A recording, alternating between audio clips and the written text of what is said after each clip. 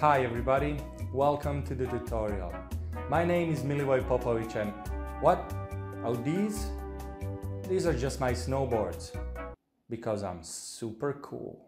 Aside from being totally cool, I teach at ArtStation Learning and Vertex School, but I also have a best-selling, highest-rated tutorial for learning ZBrush on Udemy called Sculpting in ZBrush.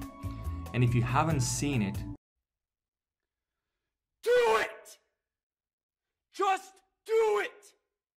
I have been creating digital content since 2002.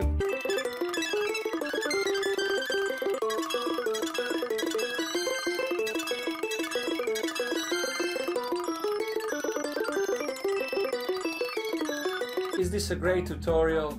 Yes. Are you going to learn a lot? Absolutely. Is it weird I'm asking myself questions? Totally weird. Oh, and this? This is just my drums. I told you. I'm totally cool. In this tutorial, you will see the process of going from a 2D concept art done by brilliant Ben Mauro to a game-ready, real-time rendered low-poly asset. We will cover ZBrush, Substance Painter, Photoshop, and Marmoset toolbag.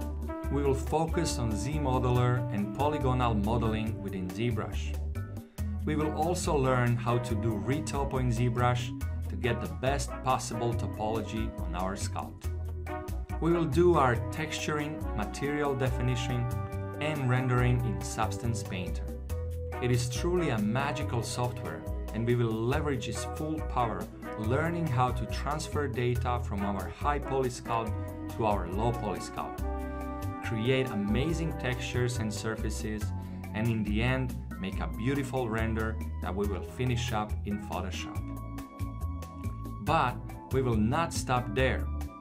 From our mid-poly sculpt, we will make a super low poly grenade and take it into Marmoset toolbag. There, we will recreate our substance surface, make an amazing looking scene, and upload it to our ArtStation account for the world to see.